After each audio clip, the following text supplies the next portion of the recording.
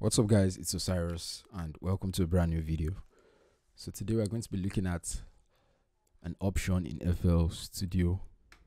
Going to be taking a look at the preview mixer track.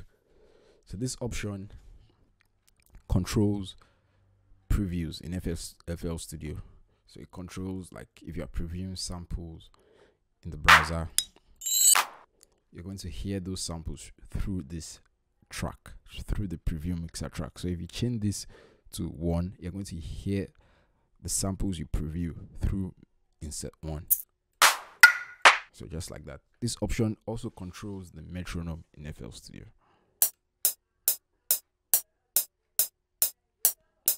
So I have my metronome coming out from insert one.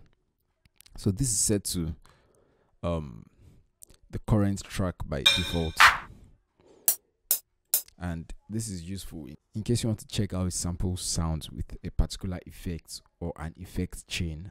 And yeah this is very useful to just check that. So you can just put the track if your effect is on insert 4 you can put your preview mixer track on insert 4 and maybe your effect is a reverb.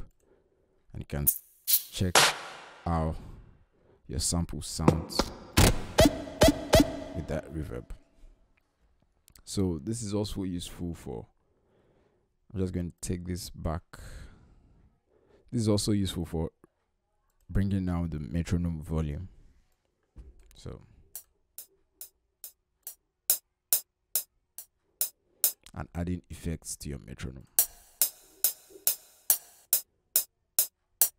So you can use this to control the preview volume your metronome and also your metronome volume so that's um that's all for the preview mixer track. So it sets to the current track by default and i use this just to check how um samples sound with a particular effect. And i use this control my metronome volume by adding fruity balance on the current track just yeah so this is how I control my metronome volume. So the preview mixer track option is a very nice tool to use and to know how to, to use in FL Studio. And yeah just this is just something I wanted to show you guys. Yeah so that'll be all for today guys. Hope you enjoyed this video and hope you learned something from this video. If you did don't forget to like comment share and subscribe. If you have any questions please leave them in the comments below or message me on any of the social platforms. My links will be in the description below. Yeah, guys, that will be all for today.